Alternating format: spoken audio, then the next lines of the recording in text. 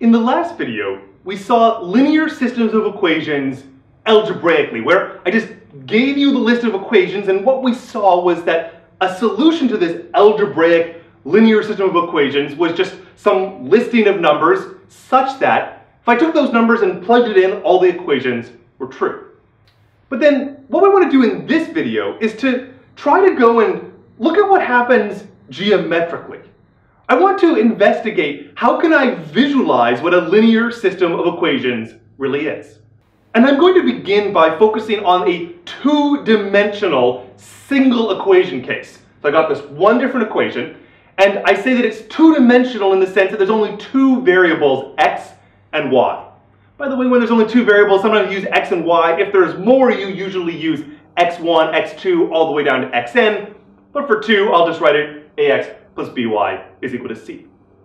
Now, generically, if I put in some specific values for my a and my b here, I get an equation of a line. Indeed, if you wish, you could rearrange this and try to write it as a y equals mx plus b form as you might have seen in high school. But nonetheless, equations of this form are going to represent lines.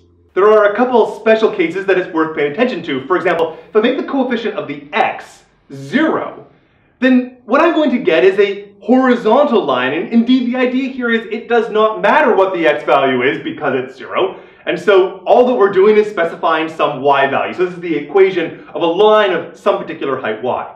Or alternatively, if I go and look at the coefficient of the y variable, well, then if I make that 0, doesn't matter what the y value is, this is just specifying what x is and I get a vertical line.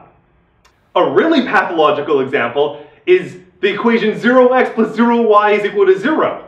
It doesn't matter what I put in here, doesn't matter what the x is, matter what the y is, everything is a solution, so I sort of shaded it yellow to indicate that everything is a solution to this.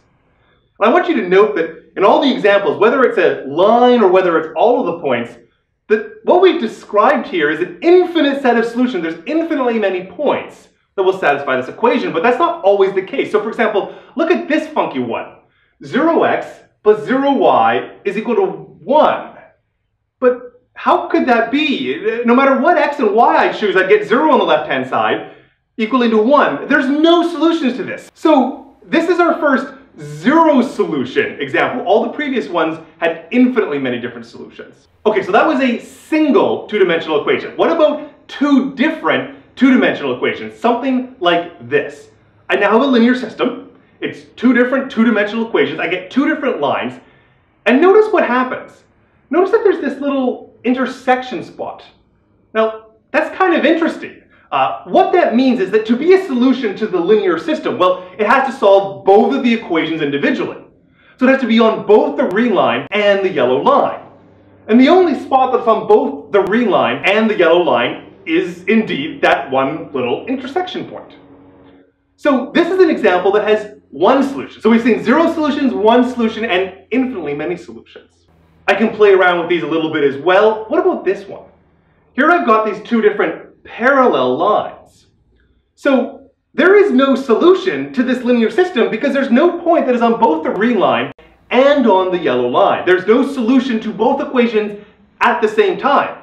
Infinitely many to just the green, infinitely many to just the yellow, but zero to both at the same time. And the third pathological case is, okay, well, what if I got these two parallel lines, but what if I go and make them right on top of each other? But then I have infinitely many solutions because Every point on the green line is also on the yellow line, so this entire line is a solution to both equations in my linear system. Now, what I want to point out to you is that so far I've had 0, 1, and infinitely many solutions. Those were my three different cases. Could I have two solutions?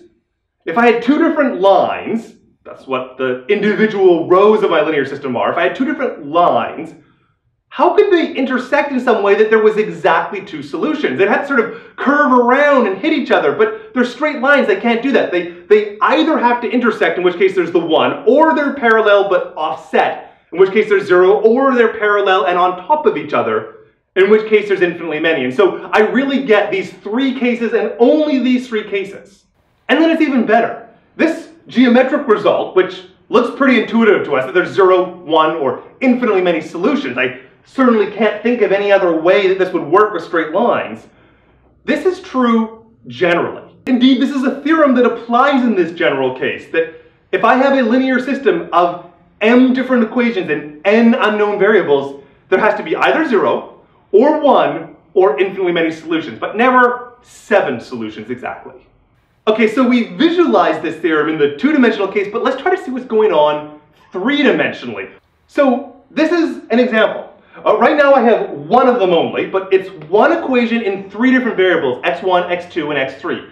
And equations of this form generically make a plane. This is an equation of a plane.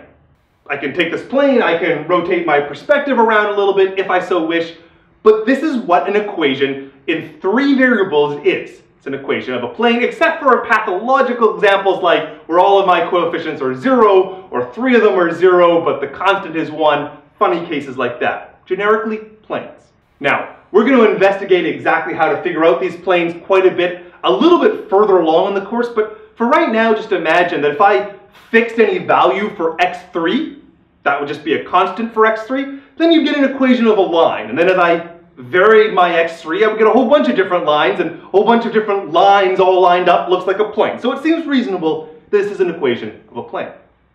But that's only one. What about two different planes? Well, two different planes might look a little bit like this. And here's the key point.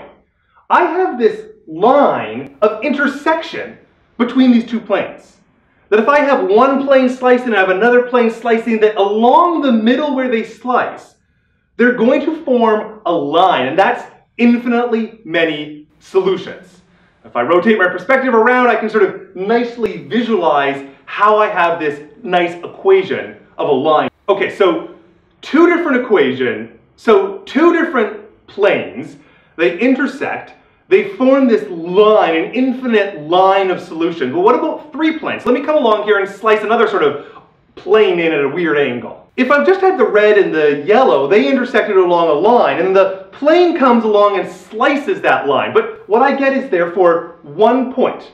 There is one point that is on the intersection of all three of these different planes. And I can see that point as I transition and zoom my camera around these three different planes. So just as how in the two-dimensional equations, if you had two different linear equations, the perhaps most generic answer was that there was the one intersection point, in the three-dimensional equation, if I have three of these planes, they're also going to intersect at this one intersection point. Of course, there's all these other examples. Uh, what about this one, where I've got two of the planes, so the red and the yellow, I'm going to make those parallel. They're, they're directly on top of each other. Now, the red may slice through them, but the red and the yellow never touch. So this is zero solutions, because there is no solution to all three at the same time as the blue and the yellow do not intersect. So there we have it. We have this nice geometric interpretation of what it is that a linear system represents and what a solution to a linear system can look like.